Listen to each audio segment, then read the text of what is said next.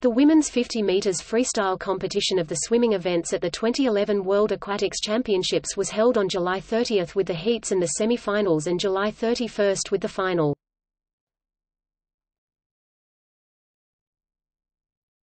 Topic: Records. Prior to the competition, the existing world and championship records were as follows.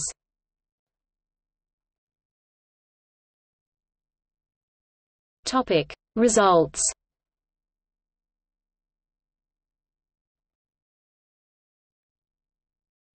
Topic: Heats. 87 swimmers participated in 12 heats. Topic: Semi-finals. The semi-finals were held at 1857.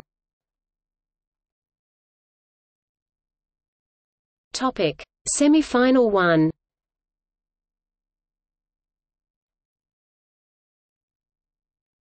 Topic: Semi-final 2.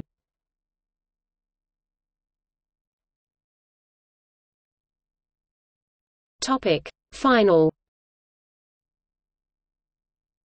The final was held at 1820.